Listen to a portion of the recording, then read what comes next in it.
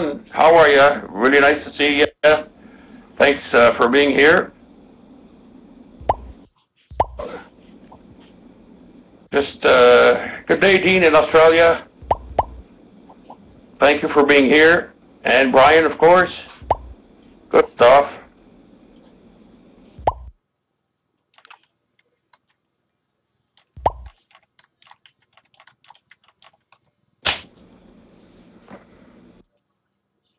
Yes, Brian, how are you tonight? Uh, it's very hot here tonight, actually. Uh, mosquitoes, so you're going to slap uh, myself a few times.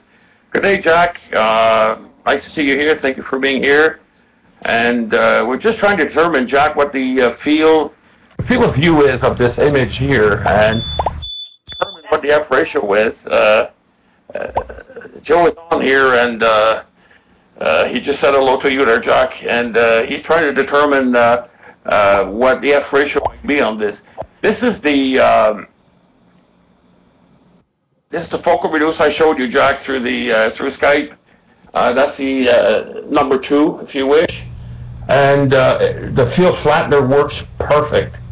The stars are perfectly fine right across the the field of view, and uh, field flattener works very, very well. And correction is uh, responding very well to the Ritchey-Chrétien optics, which uh, is impossible to use those on the RC normally. And uh, that seems to be uh, uh, quite uh, quite acceptable the way it is.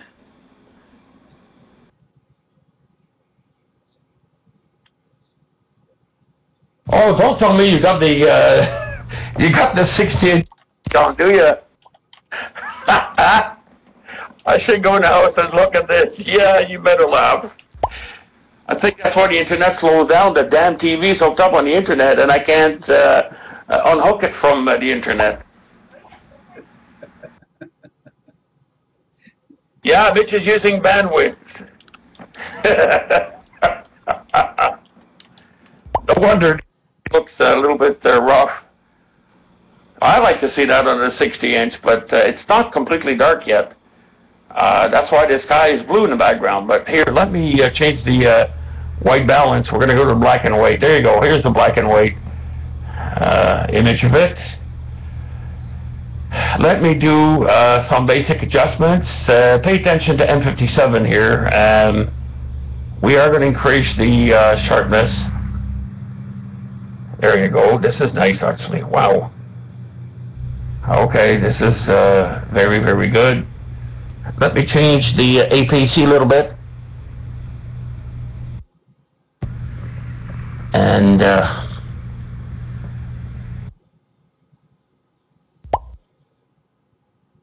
oh, this is nice and sharp. Okay.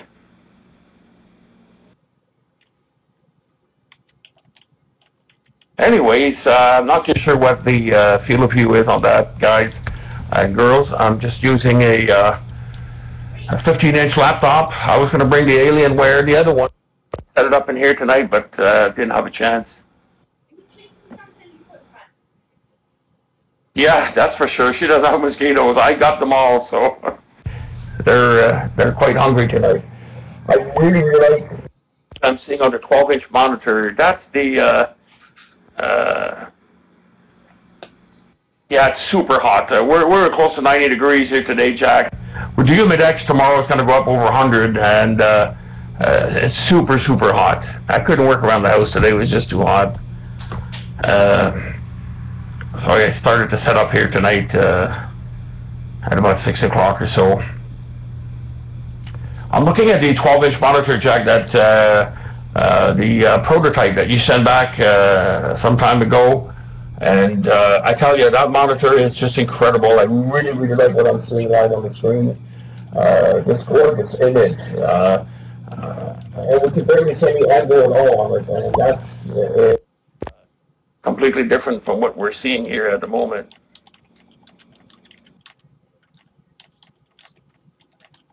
Oh, this is nice. Uh, very happy with the star pattern. Very, very interesting.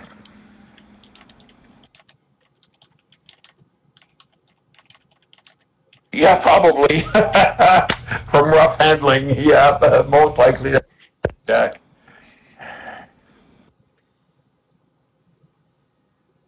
Yeah, most likely that's what happened. They played football with the darn thing, and uh, by the time it made it back here, uh, it was all uh, fixed up. Wow, this is nice actually. Uh, we've got a very, nice uh, picture here tonight. Uh, mind you, it's very, very hot, so it's not bad at all. Not too bad at all.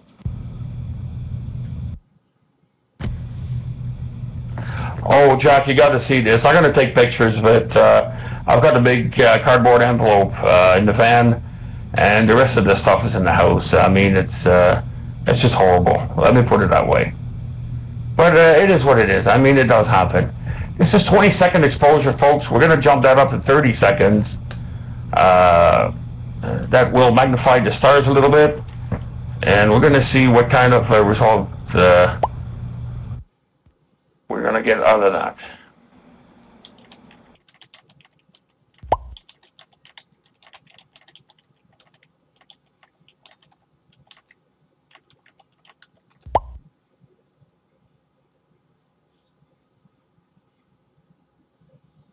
That sounds good, Brian. Sounds very, very good. Uh, uh, that's what I'm using tonight, the Extreme. Uh, this one, though, is uh, uh, has been converted with the as the XT model. Basically, what uh, this one has is it's got a chamber. It's got the the optical glass at the front the, to seal it, and it's got argon gas in it, and that's it. That's the only thing I've done to this uh, camera. I've got a bunch of cameras here. The one on the 16 inch is raw. It has no uh, uh, no optical window, no argon gas, and this one does. Um, but there's no fan on them. Uh, mind you, it runs fairly hot tonight. It's high, uh, high mid 80s at least, and uh, it's very, very hot here and humid. Stars are twinkling quite a lot here. Uh, looking at them now through the slit of the dome, and uh, it's not the best, that's for sure. But hey, uh, we're getting a decent image, and uh, what I'm testing here uh, tonight is the focal reducer. I really, really, really like what I'm seeing here. I think uh, this is going to be a winner.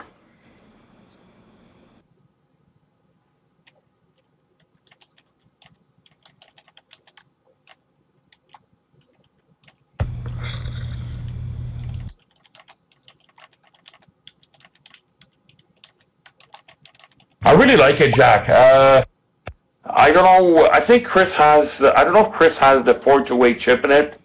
Uh, I. Uh, I. This is my own personal preference. I much prefer the. Uh, I much prefer the uh, the four to eight. Uh, that that's me. I mean, uh, each his own, obviously. Um, uh, but the uh, the 808 also works very very well. Well, this is pretty well what it, uh, what's happening there, Jack. I'm trying to look for the uh, the reference star, but I think the reference stars. I, I, I call it the pinwheel, if you want. At 11 o'clock from uh, M57, there's a group of stars, uh, six of them, and they're kind of in. And uh, and uh, in the center of that circle, this is not the star. I actually see it. Good day, Glenn. Nice to see you here, Glenn. I'm very glad that you're on. Yeah, we do see a 1296, Jack, and uh, holy Moses, I think that field is pretty wide on this thing. I hope the image looks okay for you folks. Uh, uh, the bandwidth here is re really not good. The internet sucks. Neighbor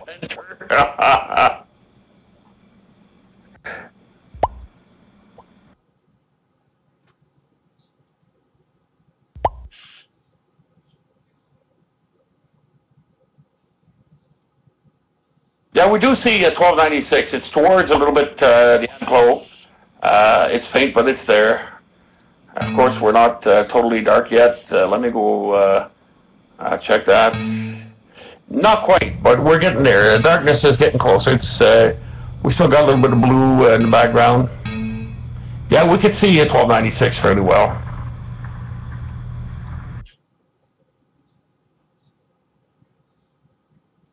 All right, we'll go back to uh, the auto color, uh, auto uh,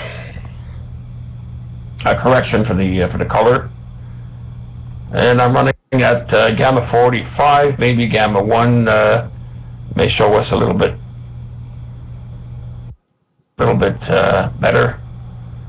Let me see what we can do here. Yeah, one. So now we're getting really nice dark background. The M is reduced. Got quite a lot at my end here. On the 12-inch monitor, I do not see the amp glow at all. Obviously, the dynamic response of the monitor is completely different than the capture device. Okay, Astrometry is having issues. I don't know if Jack, uh, if you got anything uh, handy to determine the field of view we're having and what the F ratio might be actually. Um, I'm just dying to know, but I know it's, I would estimate on that 8 inches uh, to be about F3.3, F3.5, give or take. And uh, the uh, field of view is perfect. Um, stars are flat right across. Um, right across the field. Uh, there's no vignetting whatsoever. And this is one of the things I was worried about, uh, is uh, vignetting. This is a very, very successful uh, test.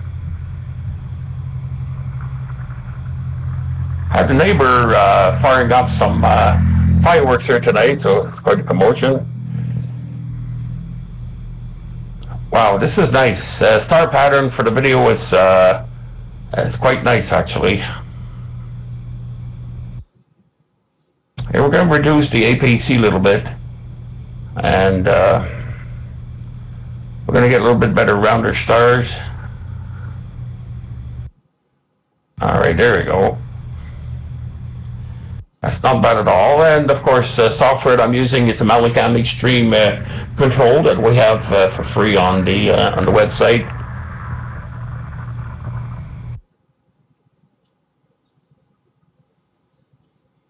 Hopefully, we still brought earlier. This thing quit. I don't know how many times. Um, let's just hope uh, the bandwidth hold and hold and. Uh, we'll be able to uh, continue broadcasting. I am going to add another lens to the focal reducer after. No, uh, Glenn, but I tell you, they're right across the street, uh, the side street actually, and uh, you certainly can see the fireworks really uh, nice. The wind's blowing the other way, so it took the smoke away from here. That's very nice. Oh boy. Uh, there's a lot of stars in there. There's some hot pixels, of course, as well, but uh, the hot pixels, you'll be able to see them as specific color, blue, green, or, or red, or anything like that. But I tell you, we're picking up quite a lot here. Um, it's quite interesting. The image is fairly smooth, and uh, what I really like, there's absolutely no vignetting whatsoever at all and uh, the uh, field of view is completely flat. So it would appear that the uh, focal reducer is going to be a success on that. Once we determine what the uh, the field of view is, and I don't have anything here to uh, in this specific dome. I have all of that in the other dome, but in this dome here, I'm sitting right by the scope. Uh, uh, top, it's a, um, a Lenovo uh, ThinkPad, a T510, a business type with a solid state uh, hard drive and 4 gig uh, memory only, and the processor is an i5 and Windows 7 Pro.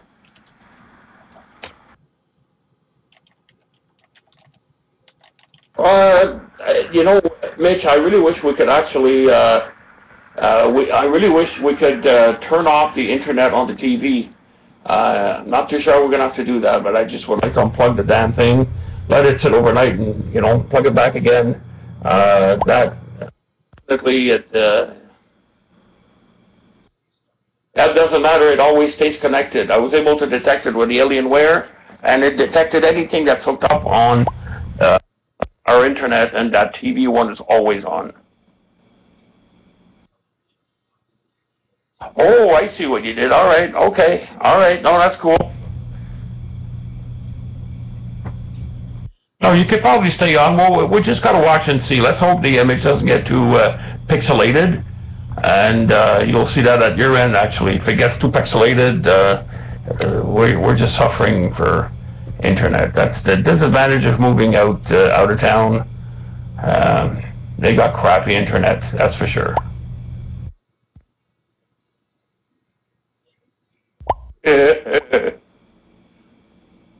Sounds good, Glenn. Thank you very much. Glenn, I ordered another Alienware, by the way, because I need USB 3 now. And it's the only one that I could find that had uh, really good uh, USB 3s all around. There's no USB 2, so I ordered another 17-inch. Give these guys uh, another go at it. If not, the river's right across here, and we're going to have a few Alienwares landing on there. Mind you, we could probably use them for certain.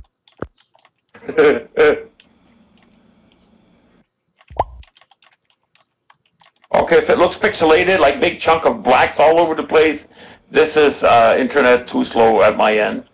Uh, okay. Well, that sounds good, Glenn. I'm glad, actually. Uh, I'm very glad there, Glenn, actually. Uh, I finally got mine going okay, too, downstairs. I actually put SplitCam on it today and uh, made it run on it really, really well. It worked really well with the Universe, the SSI. Uh, I was really, really happy with the performance of it. So let's hope the other one's going to be just as good.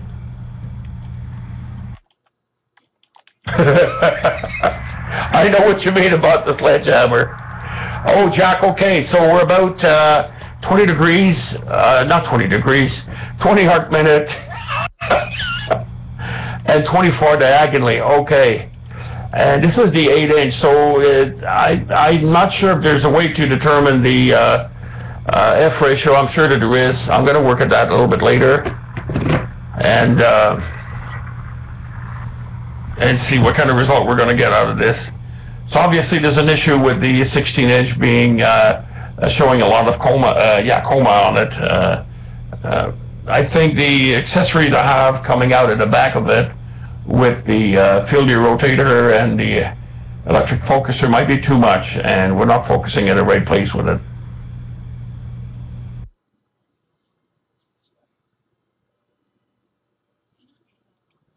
Now we've got a very good stable image here. I hope it's not jammed. and uh, it's not bad at all. Yeah, I just saw the refresh. All right, it's still going on live. Um, what I might do is uh, I get up here and put a uh, another lens in it. I have had another lens. That'll bring it up to eight lens system to determine what the um, if it will be able to take all. Um, and if we could increase further the uh, F ratio um, if you don't mind, I'm going to uh, stop about a moment.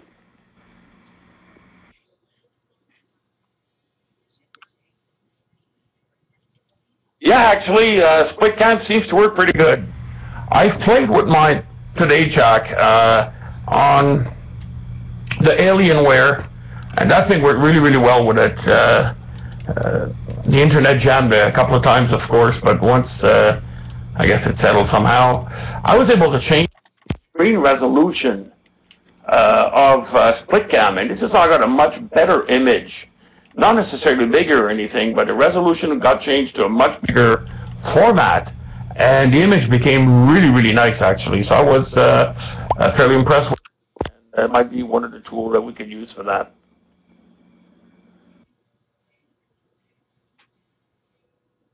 Wow, this is pretty good then, Jack. Very, very good. You've got good internet, obviously, uh, uh, where you are, and the new computer you purchase uh, certainly does. Uh, uh, it does wonders for what uh, you're going to be doing. Yes, Cam is free, Glenn, completely free. It's a bit tricky to get going, though, but once you do, you're fine. One of the trick, it always stays running in the background. Uh, they've done some improvement to it. I just saw the list of what they've done to, today uh, when I downloaded on the Alienware, and uh, you need to double click on it to fire up the uh, to to boot up the the program. You got to go into the file and exit. Not until then that thing will uh, not stop working. Otherwise, it runs all the time. So when you have other, uh, example, if you're going to broadcast on NSN, and uh, you're going to see the list of the different items you got. You're going to see uh, NCV1. You're going to see your webcam. You're going to see SplitCam. You're going to see a bunch of other things if you do have uh, uh, different cameras. I've got about eight of them on the Alienware. And uh, what you need to do is pick the right one, and you're good to go. Yeah, the only thing that's missing there, Jack, is the sharpness. But we could gain that back using the software here, and it's not a big deal. Uh, even with the, um, uh, I was going to use the uh, uh, the on the 8 inch and give it a try. I wish it would have the brightness. I did send them an email about, uh, not brightness, but sharpness. Sent them an email about it. I haven't heard from them. Their uh, the copyright was updated uh, uh, in 2012, but the actual file was updated in July of this year, so a month ago. Uh, they've done some changes, so I find it works a lot better than before. Oh my goodness, look at the spiders we got here. Okay.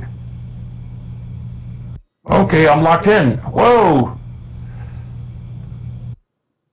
Oh, this is neat. Uh, the whole door has a uh, spider web. I think the spider wants to eat me. All right.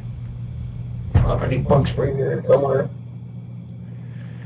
Anyways, I'm going to get up, folks, and uh, I'm going to go put a lens, uh, an extra lens on the focal reader with see the result. I really